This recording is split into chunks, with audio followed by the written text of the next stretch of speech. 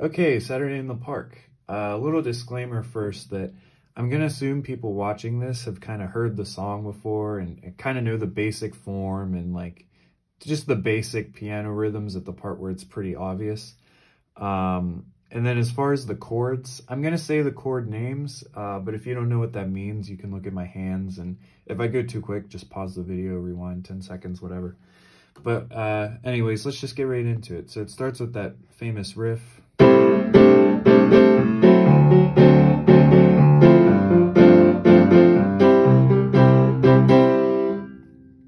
So he's doing A minor 7 to a D9 to, I would call this a D minor 9 with a G in the bass. So if you D in the bass, it would be, but you instead you G in the bass. Sounds kind of nice. And then it resolves to a C. So the, the left hand is doing just quarter notes on the bass note. So. And then the right hand, you basically start with this figure and then the only thing that changes is your thumb descends and you alternate between the E and the D with your pinky and ring finger. So it's like, and then C. So one more time. Oh, and another thing is the the syncopation is probably the trickiest part of getting this down. The the chords come in on the and of four.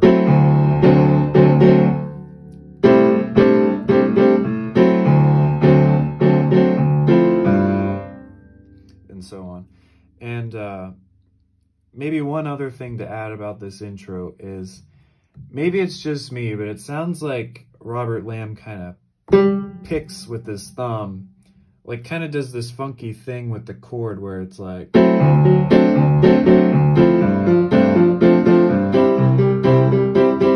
Kind of almost like alternating there. Maybe that's just me, but that's something I hear. So then next is the verse. And I don't think he uses the sustain pedal at all in this song. So uh, if you want to, that's fine. But this slower part, I don't sustain. So I'll split the verse into two parts. This is the first part.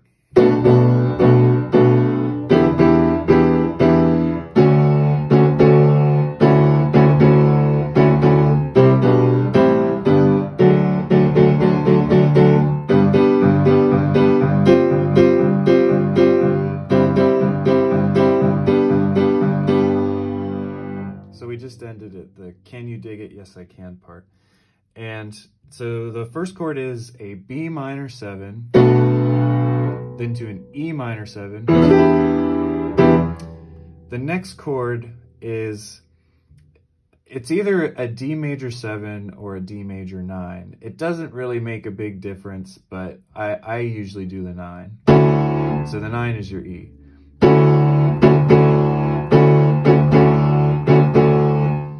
you're going to alternate. This next part is the singing Italian songs.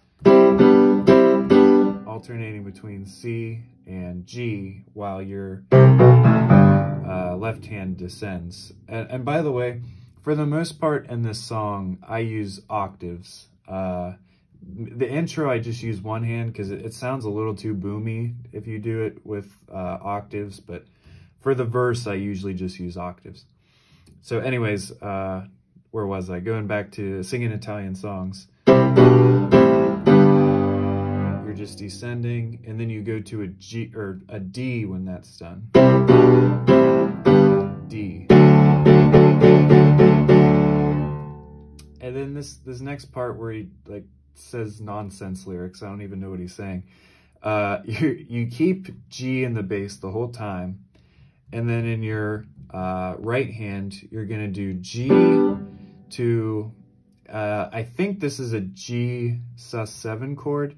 It sounds a lot to me like you can hear the F and the C in this, so I think that's the chord. Then to C, then to G. So I'll play that.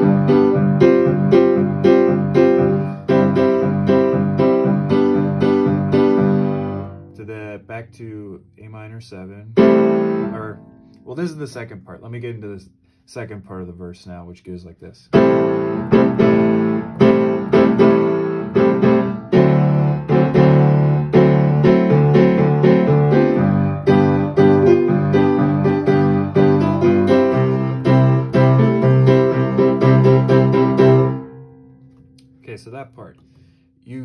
Going to start on A minor 7, the same one you did at the beginning of the song. And then go to D9, the same one from the beginning of the song. And then he kind of, I think he kind of syncopates it at the end to get into that G.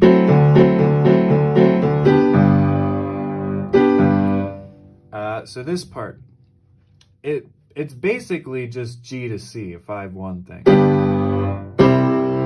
But what he does, I think, is adds a little kind of melody in the, the right hand that I try to incorporate.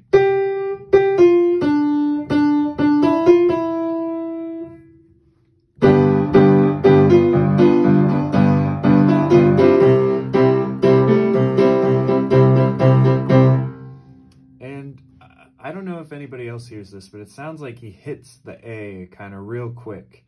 Um, just like a...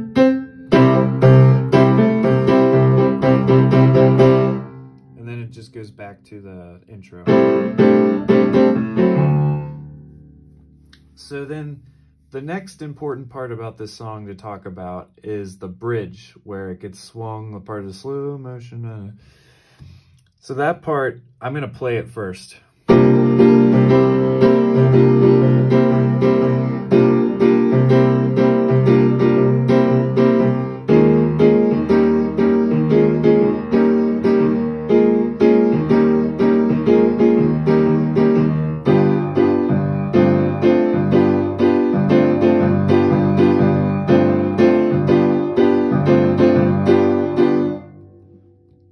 So there's basically three pairs of chords.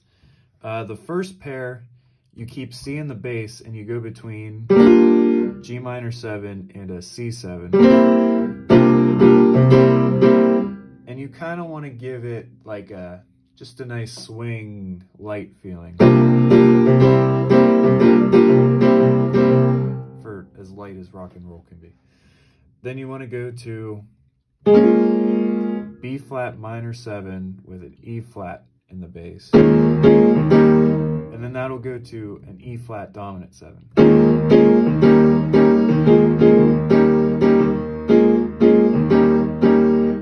And then the last pair of chords, G in the bass, and you want to do D minor 7 to G dominant 7.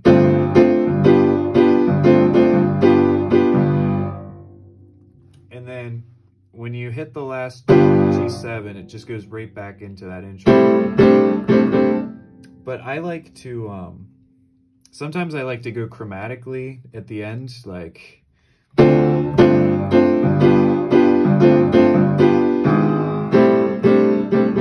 don't know, just my taste.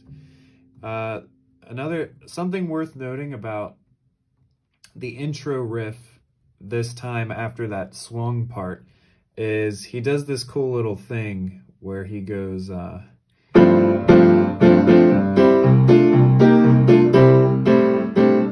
so what he's doing is going C major, D minor, you keep seeing the bass the whole time, and then to, which you could either see that as like a C minor 7, or like E flat major slash C, whatever, um, but I just like it, it's, it kind of almost is like bluesy.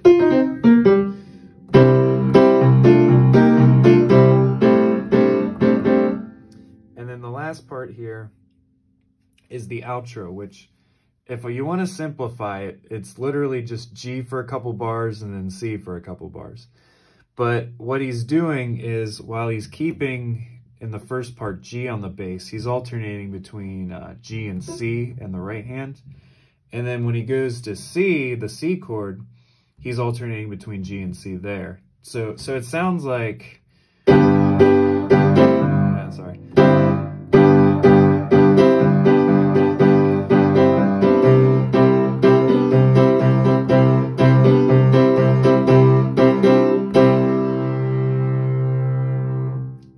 song ends. So just one more time.